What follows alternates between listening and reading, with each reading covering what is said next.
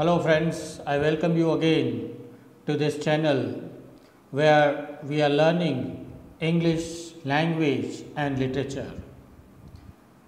Friends, in this lecture today we are going to discuss the Elizabethan age.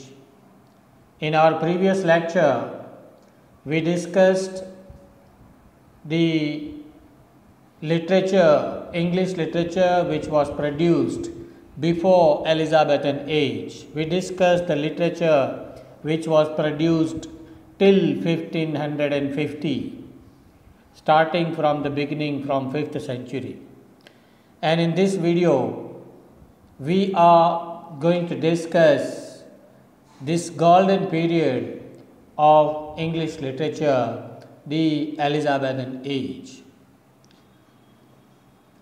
This is the photo of Queen Elizabeth.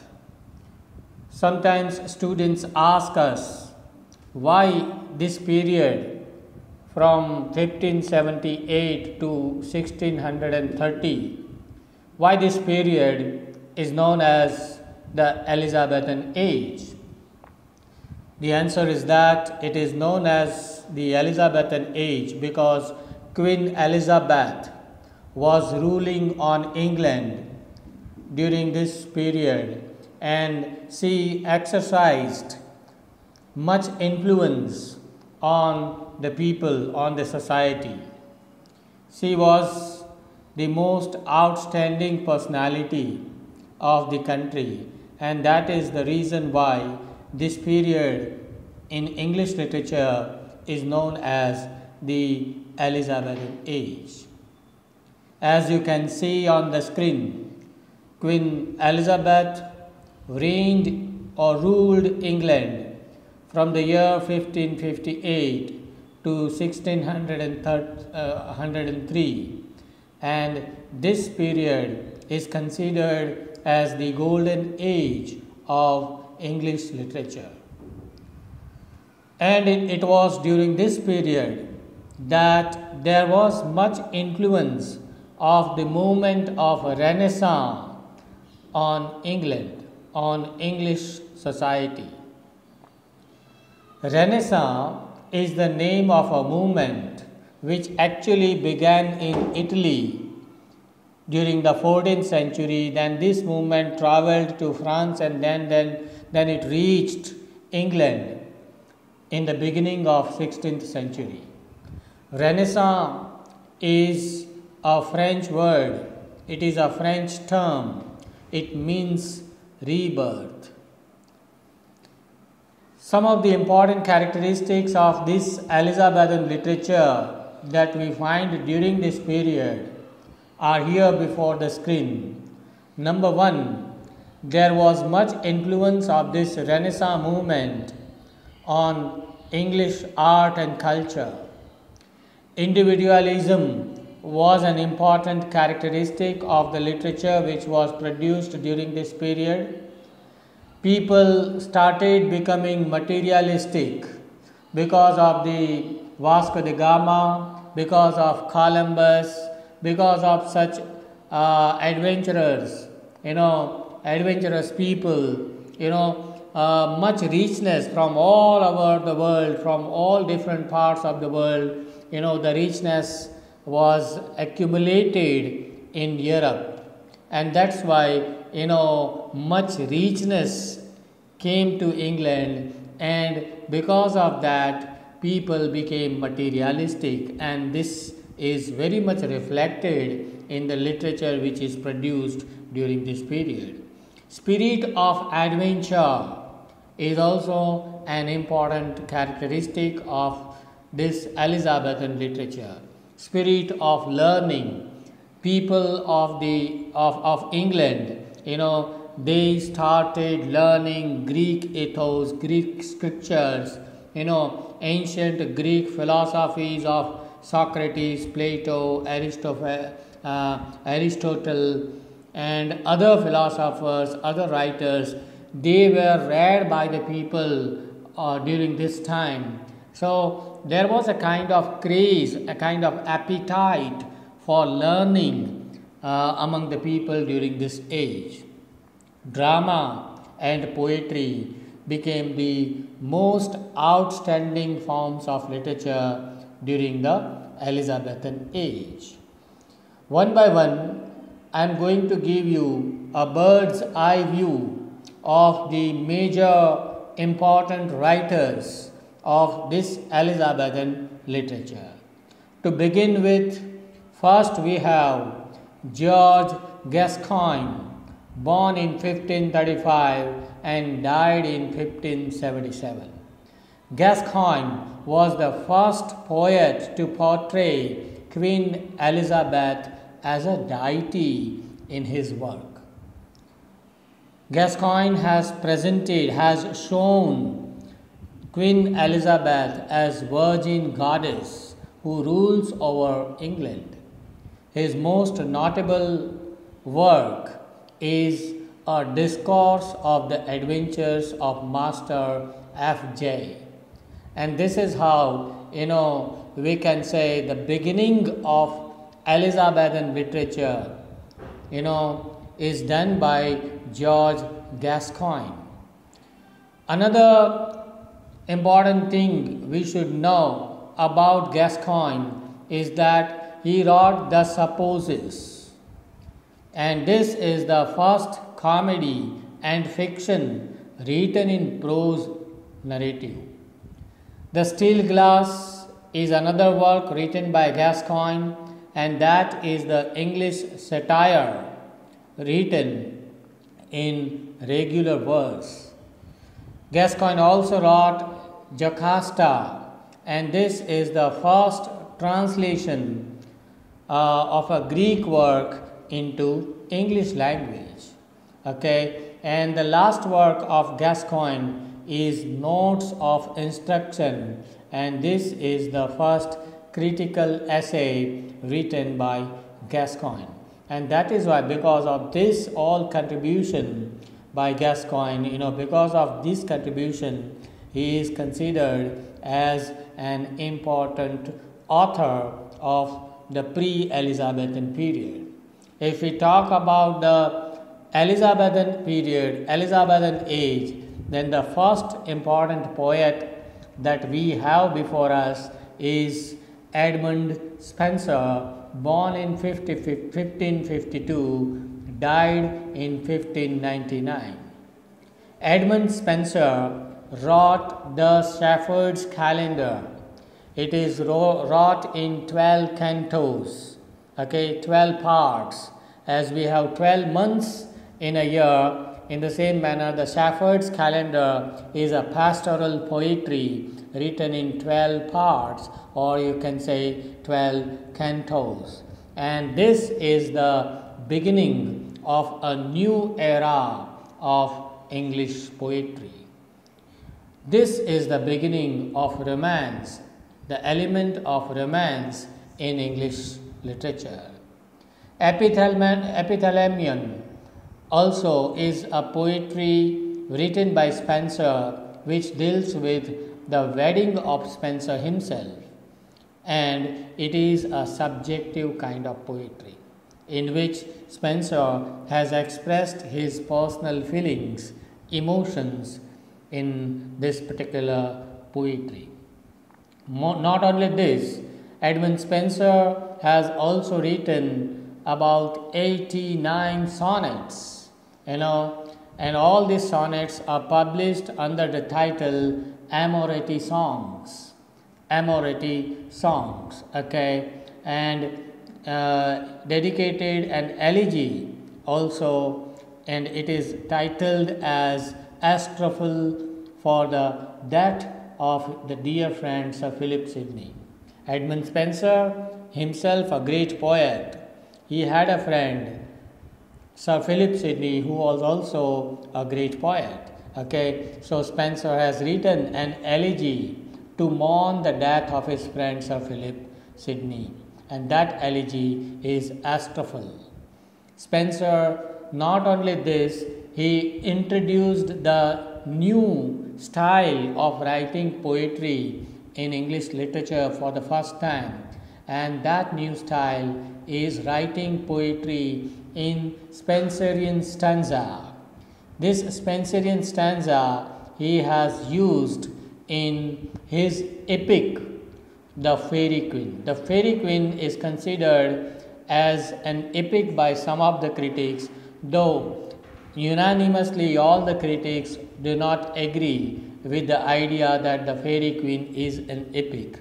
But in this epic, you know, Spenser has experimented uh, some techniques of writing poetry. He has used and applied this new stanza, Spenserian stanza, and uh, the rhyming scheme of this Spenserian stanza is A B A B B C B C C. Okay, because of all his contributions to English poetry, uh, Edmund Spenser is known as the poet's poet. So, Spenser, an important poet of the Elizabethan age.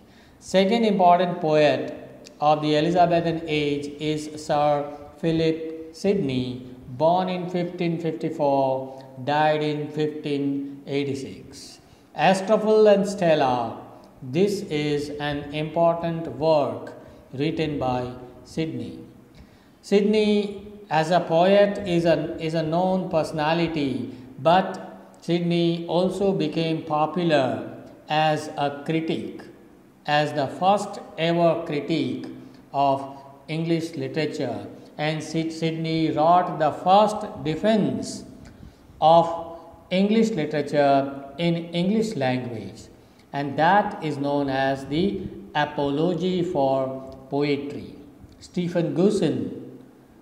Stephen Gosson laid down some charges against the poets and poetry during his times, and Gosson dedicated that, uh, that work to Sir Philip Sidney, and Sir Philip Sidney wrote a reply to uh, Stephen Gosson, and that reply was a critical work written by Sidney, an apology for poetry. Important thing to note about Sidney is that no work of Sidney was published during his lifetime. All works written by Sidney, they were published posthumously. Posthumously means after his death. But still, his contribution is important as a poet and as a critic. Another important writers of the Elizabethan age was a group of writers which is known which is entitled as the university wits university wits consists of it's, it's a group which consists of seven writers john lyly george Peele robert greene thomas lodge thomas nash thomas Kyd, and christopher marlowe christopher marlowe was the leader of this group which is known as university wits. In one of our next videos, I will, I will talk about the contribution of these university wits later. Uh, right now, we don't want to enter into that detail, but uh, these university wits were all good friends studying together in the same university and that is why you know they are known this group is known as the university wits they were the major writers of the Elizabethan age. And now friends, we come to the most important portion of this presentation and that is contribution of the greatest of the great William Shakespeare. Shakespeare was born in 1564 and died in 1616. Shakespeare is known as the Bard of Avon. Bard, Bard means a poet. Avon, A V O N. Avon is the name of the village where William Shakespeare was born, and that is why many critics call William Shakespeare as the Bard of Avon. Shakespeare emerged out as the greatest playwright of English literature during the Elizabethan age. If you see the whole contribution of William Shakespeare, then Shakespeare in his lifetime has written about 38 plays and 154 sonnets in all his lifetimes.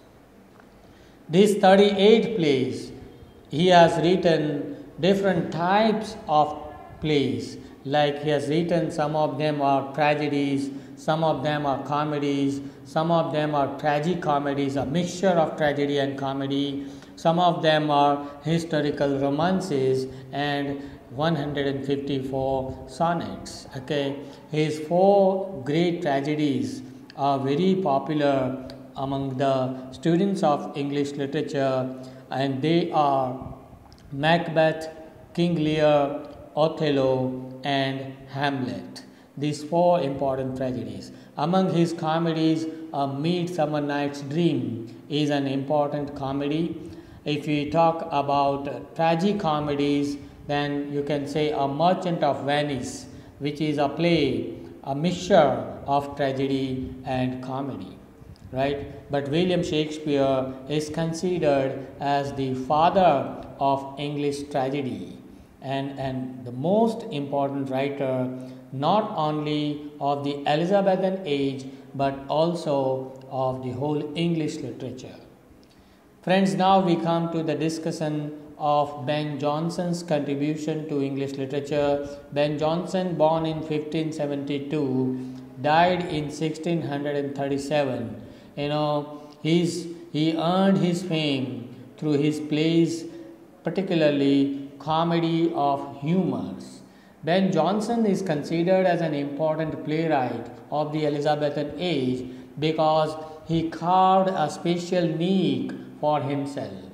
I mean, Ben Jonson did not follow William Shakespeare. He started writing some different kind of comedies, which was later on known as comedy of humors. He invented, he experimented a new type of comedy, comedy of humors. His famous comedy of humors are Every Man in His Humor, Every Man Out of His Humor, Volpone or the Fox, okay, uh, the silent woman and the devil is an ass, the sad shepherd, a tale of Robin Hood, a tale of a tub, and so many others.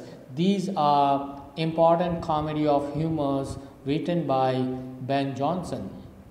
Next important writer of the Elizabethan age is Sir Francis Bacon. Sir Francis Bacon was born in 1561 and died in 1626.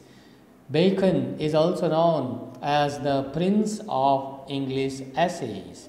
He wrote about 58 important essays, very short essays, you know, which discuss human knowledge and practical life lessons, right? Bacon is a polymath who worked on philosophy, science, literature, oratory, jury, etc. And his important works include the advancement of learning, the Novum, Novum Organum, and the New Atlantis. Important thing to note about Francis Bacon's essays is that Bacon was much influenced by Latin language. So, when we read his essays, you find so many words and phrases of Latin language. Another important thing to note about Francis Bacon's essays are, is that his essays are though very short in size, his sentences are very short in size, but they are full of stuff. Even the short sentences of Bacon have become the proverbs in our day to day conversation. Okay, other important writers of this Elizabethan age are William Paynter, George Chapman, Michael Drayton, Thomas Heywood, and John Webster. In one of our next videos, I'll talk about John Webster in detail because Webster started a new line. He drew a new line in the history of English plays and he wrote some morality uh, plays, right?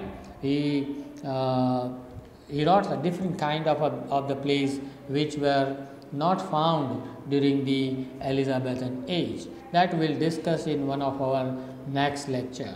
But all in all, let me tell you that the trio poets of the Elizabethan age, William Shakespeare, Sidney and Spenser, these are the three important poets of Elizabethan age. Apart from these three, there were hundreds of poets who were writing poetry and that is the reason why Elizabethan age is known as the singing a nest of singing birds and Shakespeare's important plays like Othello, King Lear, Macbeth, you know, such important plays, plus Christopher Marlowe's important plays like Dr. Faustus, Tamburlaine the Great, and, and uh, so on, Edward II, you know, they made this English literature reach in quality during the Elizabethan age.